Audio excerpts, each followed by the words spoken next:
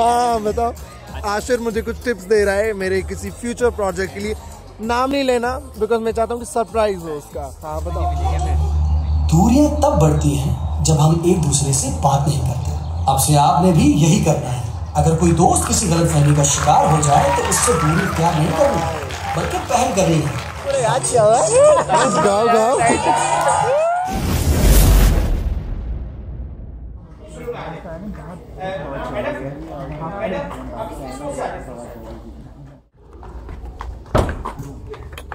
Auditorium बहुत खाली है क्योंकि पाकिस्तान में हर एक चीज़ लेट से स्टार्ट होती है। सो यहाँ अभी तीन का टाइम था लेकिन अभी तक स्टार्ट हुआ नहीं है। ये हमारी सोसाइटी है जिनकी तरफ़ से हम आए हैं। हाँ बताओ। आशिर मुझे कुछ टिप्स दे रहा है मेरे किसी फ्यूचर प्रोजेक्ट के लिए। नाम नहीं लेना बिकॉज़ मैं चाहता हूँ कि सरप्राइज़ हो उसका हाँ बताओ। तो अभी मैं जैसे बताया कि मुझे कुछ पढ़ते तेज तो बोलो ना। नहीं है लेकिन मेरे जहन में सबसे पहले सवाल आया है कि अगर आपको किसी का इंटरव्यू करना हो दो डिफरेंस होते हैं।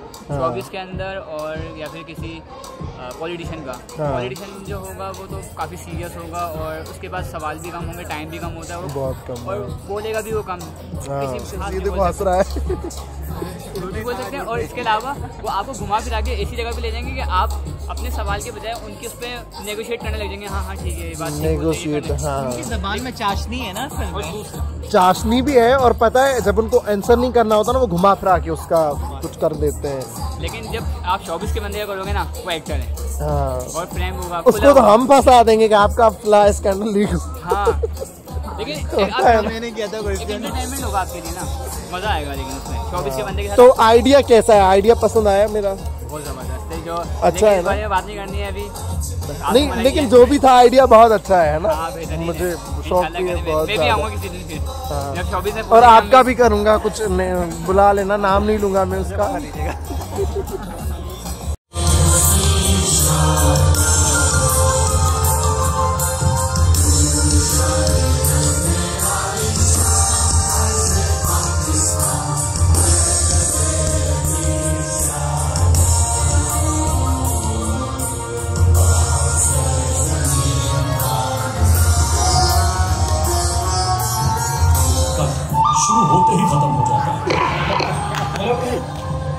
मिशन को स्टार्ट करने जा रहे हैं प्लीज़ सिचुएशन को देखते रहें over now Bilal speaking. Corner number four is all clear. Please start up shut up.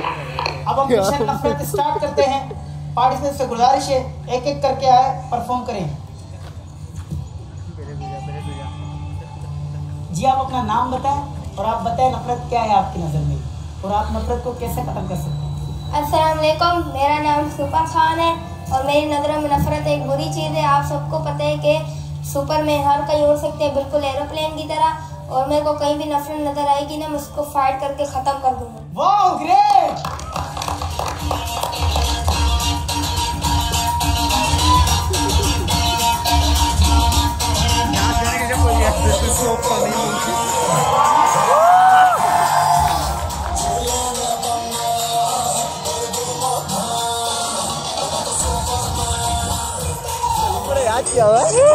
गाओ गाओ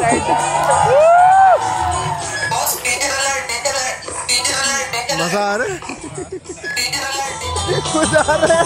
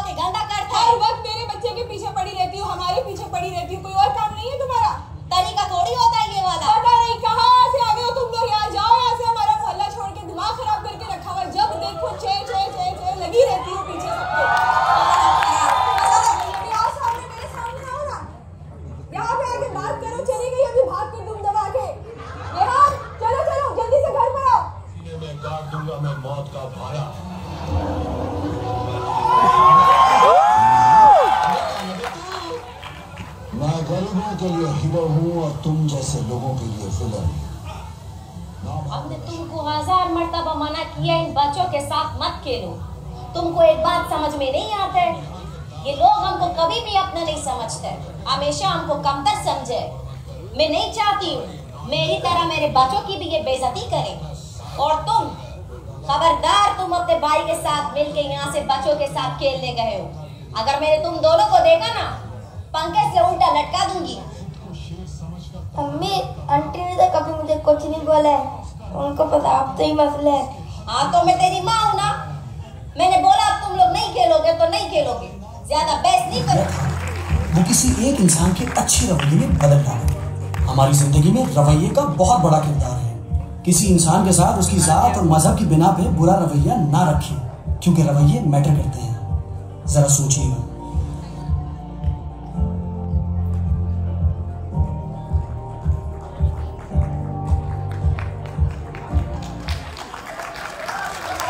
आशी गिरना तो था ना आशी कहना दीपक तू चोर है।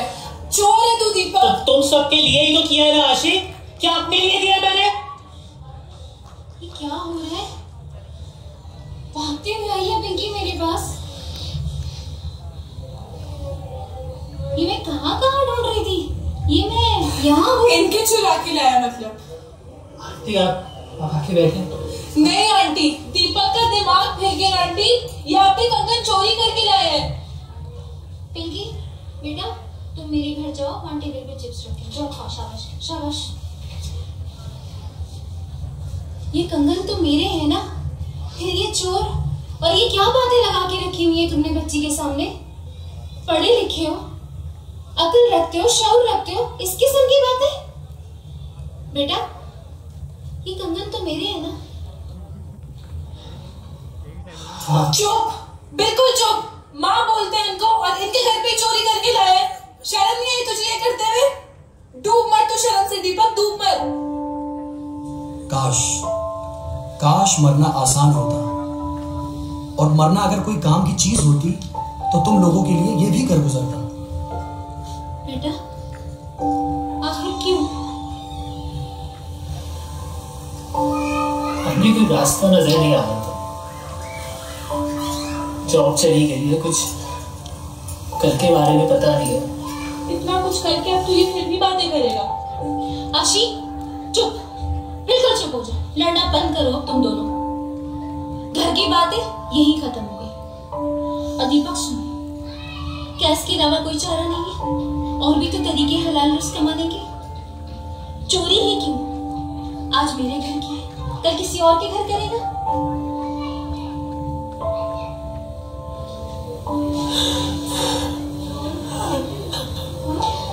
ये नहीं कहता कि दीपक ने जो किया वो ठीक किया या गलत। मैं सिर्फ़ ये जानता हूँ, इस दुनिया में अच्छाई अभी भी ज़िंदा है। और वो ज़िंदा मिसाल थी जमीला आंटी, जिन्होंने इतना सब कुछ होने के बाद दीपक को सपोर्ट किया ये सब देखने के बाद मुझे बिल्कुल हैरानी नहीं हुई, क्योंकि ये चीज़ें मैं अपने लोगों में देखता हूँ। जिस तरह जमीला आंटी ने बिना मज़हब देखे इस पूरे वक्त में दीपक को टैक्सी मिला सपोर्ट किया, आप भी लोगों की गलतियों को दरगुजर करना सीखिए उम्मीद करता हूँ ये कहानी आपको अच्छी लगी होगी। बहुत जल्द आपसे मुलाकात होगी। तुमने बंद कर दिया। स्कूल साथ चलना तुमने बंद कर दिया। और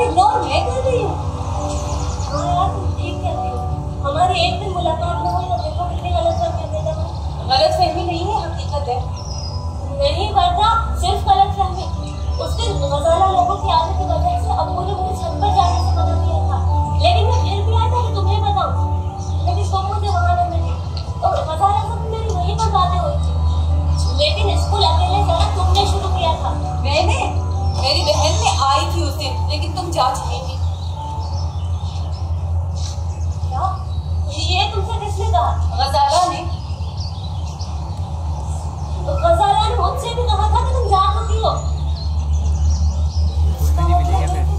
दूरियाँ तब बढ़ती हैं जब हम एक दूसरे से बात नहीं करते। अब से आपने भी यही करना है। अगर कोई दोस्त किसी गलत फहमी का शिकार हो जाए तो उससे दूरी इख्तियार नहीं करनी। बल्कि पहल करनी है। बातचीत में उम्मीद है आपने वर्दा और खिजरा की इस कहानी से ज़रूर कोई ना कोई सबक हासिल किया होगा।